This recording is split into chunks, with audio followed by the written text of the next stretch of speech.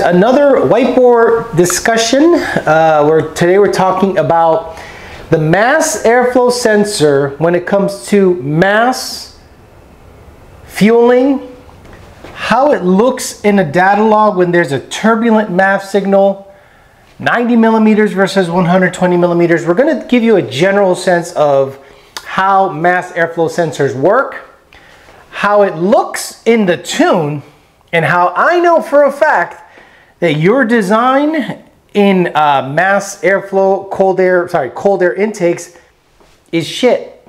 So let's just say, for instance, the red graph is a bone stock 90 millimeter ish housing from, let's say, a Gen 3 Mustang. And this bone stock MAF curve has been, okay, this is a MAF curve. So what is a MAF curve? Well, this part of the MAF, mass airflow sensor curve is idle, okay? So if it is smooth and not turbulent, typically each point is an adjustment point at idle.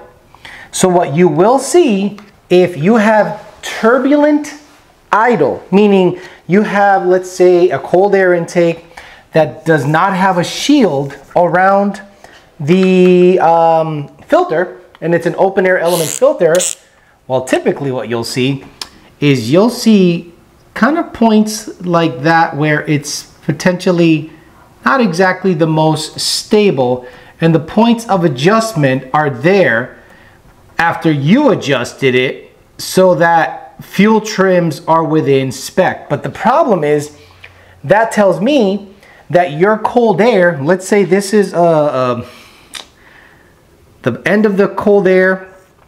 This is the filter. Wow. Yeah, okay, that's not bad. And let's say your mass airflow sensor is really close to the filter. Well, the problem is air is coming in through here, here, potentially here, here, here, all over the place.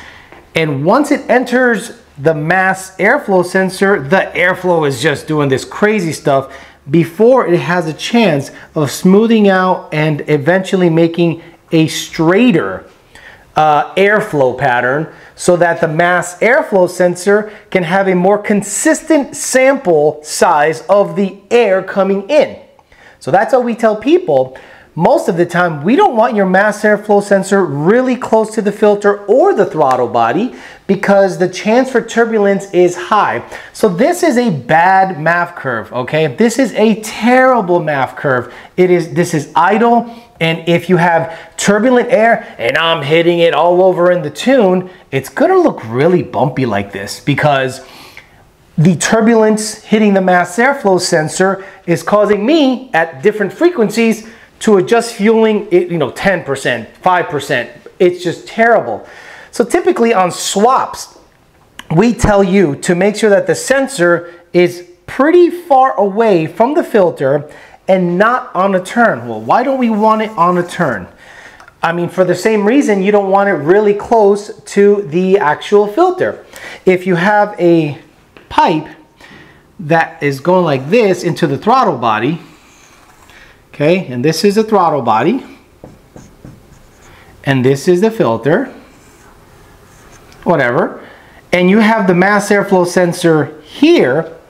Well, this turbulent air is going to eventually smooth out, but then by the time it takes a turn, it creates turbulence here and here and here before it start has a chance to straighten out a little more in a straight part of the pipe. Think of it as water the way water flows around a hose. But the problem is it doesn't have a similar density. So what you're gonna see is turbulence coming right into the filter, a chance for it to smooth out, and then if your sensor is in the middle of a turn, the inside part of the airflow is moving in a different velocity than the outside part of that elbow. So typically we tell you we want to make sure that your mass airflow sensor is in a straight part of the pipe not too close to the filter, not too close to the throttle body. Well, what happens when it's turbulent like that?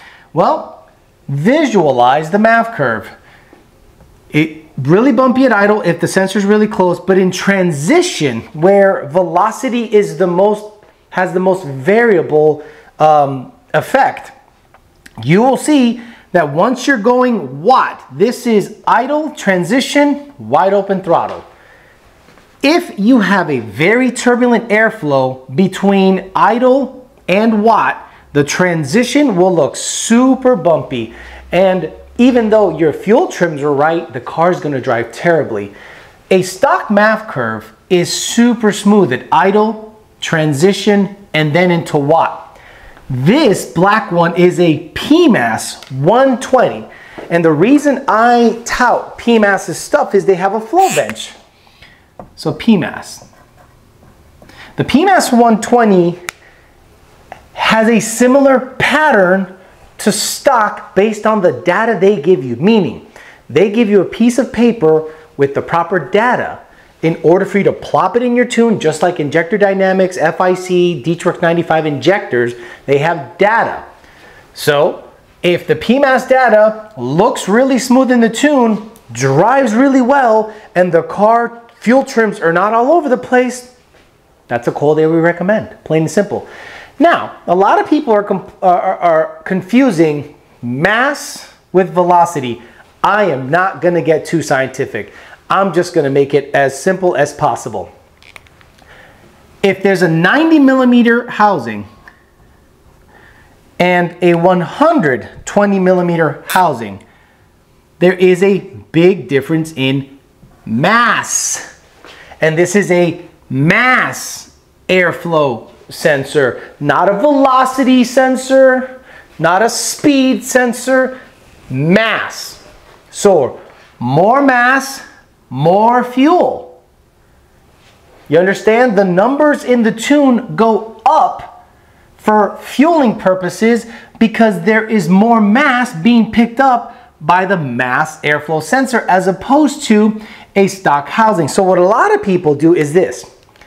They open up the airflow on a stock cold air and what happens is velocity is increased, but the mass is similar.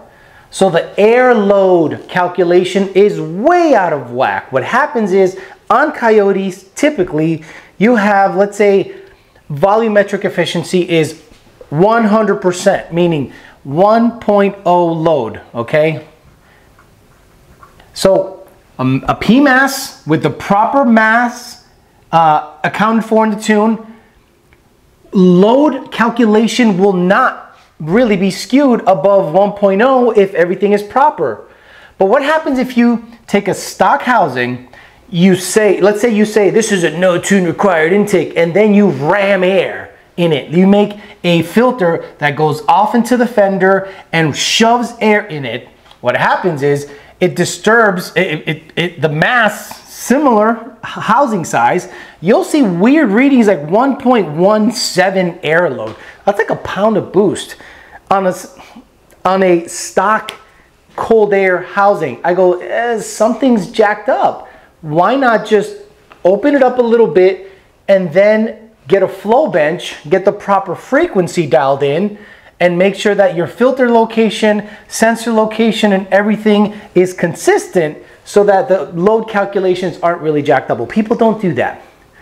PMAS has a flow bench. I know this sounds like a PMAS commercial, but I'm just using an example. They have a flow bench. They can test the airflow at different frequencies, idle, transition, and WOT. And they can dial in the points that they need to dial in and provide you data. But a lot of people think this is like a velocity sensor more than anything. It is a mass sensor, density. So a lot of people kind of get in, into the weeds on that. But a lot of cold air manufacturers, they don't care. Most cold air manufacturers, what they have is a very pretty, nice looking cold air under the hood and you buy it. And then I go, the MAF curve looks like this. So if a MAF curve looks bumpy, crappy at idle, and then at WOT I have to hit it at different points, that car is gonna drive like absolute butt cheeks. It's gonna be really nasty driving. Stock, the red line, smooth. You ever get in a stock Mustang? Thing drives smooth. Nice. Why? Because Ford spent millions of dollars developing a cold air system in order for your car to fuel properly.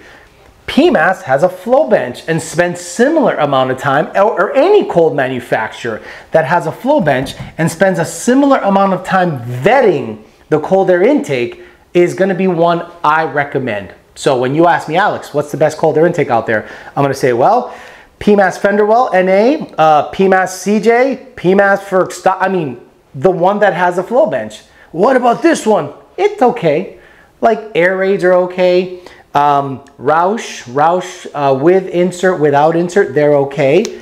Um, even a stock housing where the shield is properly sealed and not getting a ram air effect. I'm sorry, where the filter is properly shielded, not getting engine bay heat and proper um, air that is not ramming air into the filter, I think is a great um, design. But typically someone that has a flow bench can see the data in idle, transition, and WOT and build a cold air based around the data. So just because you shove a Home Depot pipe filter at the end of it, shove a mass sensor in it, and think uh, you're a king dingaling, um, cool. If you sell a bunch of them, awesome. But I'd rather go with somebody that has a flow bench and gives me proper data so that I can tune it properly. Thanks for listening, guys. Talk to you later.